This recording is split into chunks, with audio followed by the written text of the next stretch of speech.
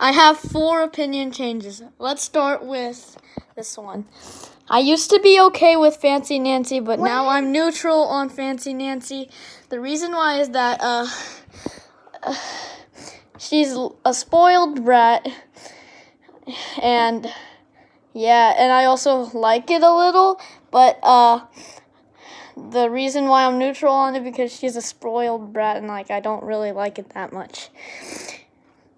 Second opinion change. I now hate Ryan's World and all the other channels. The reason why is that they're too babyish and I'm too old for it. And here's the third one. I now also hate Ryan's Mystery Playdate. The reason why is that it features the same kid. And yeah, he's just too babyish.